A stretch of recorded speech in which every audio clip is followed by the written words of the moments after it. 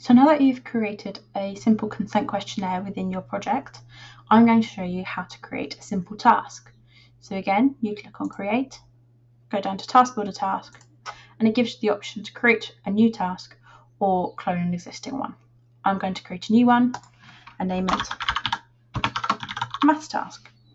Press OK, and that'll take you directly into the task. For your task, you will need a series of displays so first, I'd like some instructions, then a trial, and then an end where I'll debrief my participants. So these displays are all driven by the spreadsheet and I'll go into a little bit more detail about that in a minute.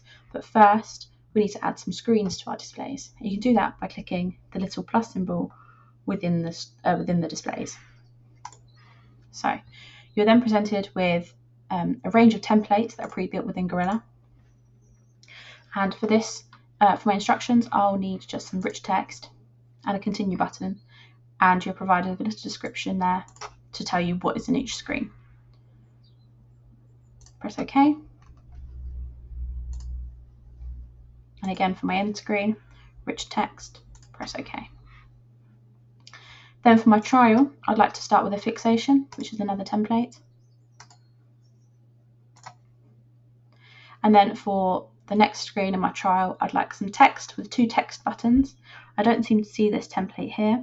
So either I could build it from um, scratch by selecting a blank screen, um, but we do have quite a few which can be edited. So image with two text buttons seems close enough, and then I only need to change one zone.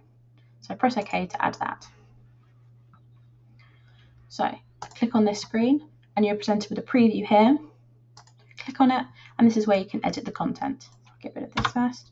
This content will be static content, which means that it'll be the same for each trial, for each participant. It'll just always remain the same, as the instructions will remain the same.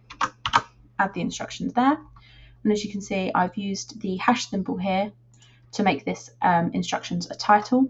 And you can click on the Markdown guide link just there to learn more about how you can format your text. Press OK, and you can see the preview just there. And I'd also like to change the button to Start. As a default, this is just Next. Again, go to my end screen and just change the text here because this will be static text. And I'll just put, thank you for taking part. Thank you for taking part. Okay change the button again to finish. Perfect. Now I'm going to go on to the trial. So for the fixation, you have um, some settings here which you can pay attention to. So how long would you like the fixation cross to show, to show for? Again, static content, 250 milliseconds, that'll be fine. And how much um, space before and after the fixation cross would you like? 100 milliseconds should be fine. So I'll leave these as the default. Now, moving on to the main trial screen, I have my two buttons, which I'd like to label as odd. Okay. And even. Again, you can see that I left that as um, static content as I don't want this to change either. Press OK. Now, currently this is the image zone, as I selected this from the template, but I'd like to change it to text. So I just press Edit Layout, simply click on the zone, and I'm presented with all the different zone types that Gorilla offer. So I change it from image to text. Press Done. I click on this again, and I can change the content. Instead of having static content this time, I'd like this to be drawn from the spreadsheet. So I click on the spreadsheet tab, and I enter the column name. So this will be the digit. Again, press OK. And as you can see, this is actually color coded. So this is turned to um, a green label rather than the static, which is orange. And this is just a really useful tool within Gorilla to help keep track of where all your um, content and um, labels and everything are being drawn from. So next we have a few settings that we need to configure. If you go down to the active response, if a response is value matches answer, again this is green so it comes from the spreadsheet, it represents the correct answer. I'll fill this in in a little bit. if one, enable sudden death, first answer recorded only. If I was to change this to zero, as so, it means that participants would be able to click as many options they wanted until they got the correct answer. But I would just like to record the first answer only. So change that to one. Another thing I would like to add to this screen is a, a time limit. So I just simply press add zone and all these zones can be drag and dropped and also resized using these little dots. Click on the zone, control, time limit screen. Press OK, done, and then I can edit the settings for this time limit. So the time limit I would like is five seconds, but this is in milliseconds, so add 5,000. And I'd also like to display the countdown for the last three seconds, 3,000 milliseconds. Okay, so this seems like my um, task is set up how I would like. I'd just like to quickly mention the stimuli tab, which is where if you were using images or videos or audio files, you would be able to upload them here. The next thing I need to do is sort out the spreadsheet. So if I click spreadsheet, you can see um, the spreadsheet column titles all here. And I download this, which means that I can add um, to, the content of the spreadsheet. So it's just downloading and I open that there. So let me just go to the task structure so you can see this.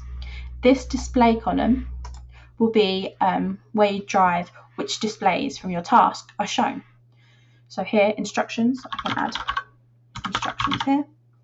And it's important to note that these are case sensitive. So um, Gorilla wouldn't recognize the display instructions if, for example, I'd included a capital I instead of a lowercase i. So it's really important to make sure that these two things um, align exactly. Then I'd like to add trial. I will have four trials. And then my end screen. My digits will be presented here and the digits I would like to use, keep it simple, so it's just 4, 5, 6, and 7. And then the answer, which we saw here, I just need to add um, the answer. So even, odd.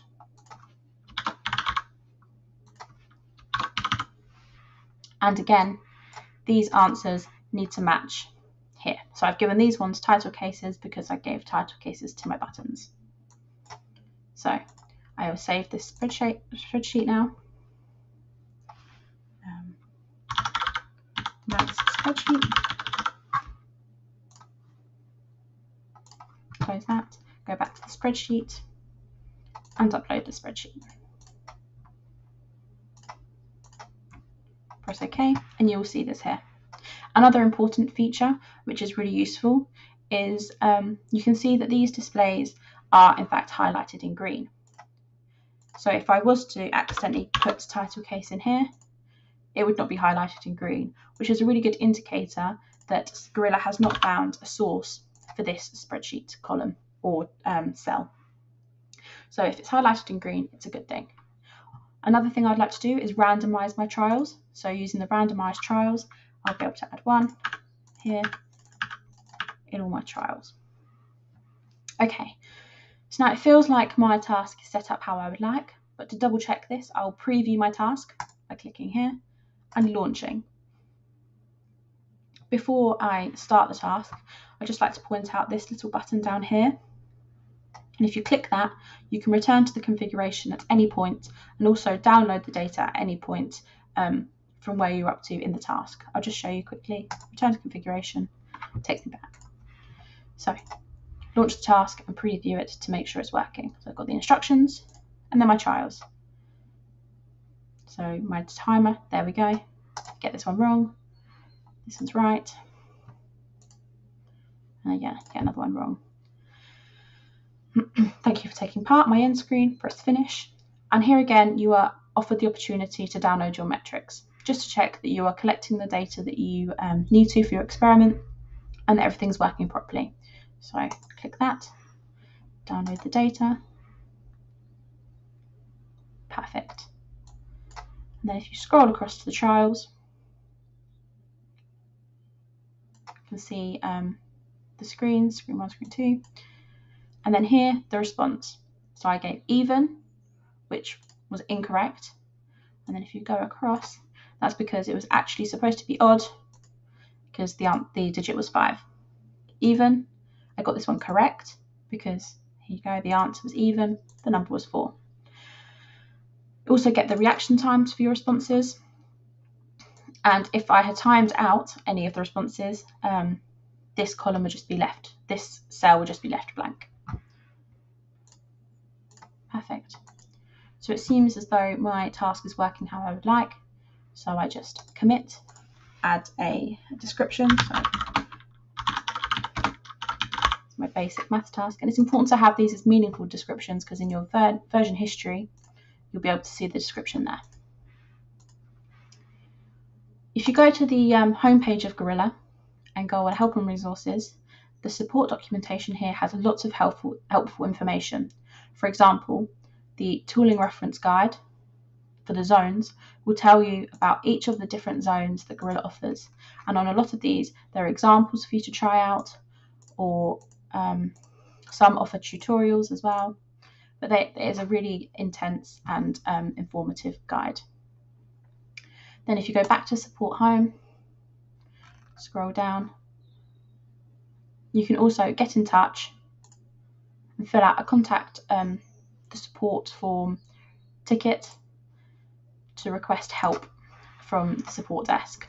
We do have a lot and lot of um, resources which I would recommend you check out before you contact support.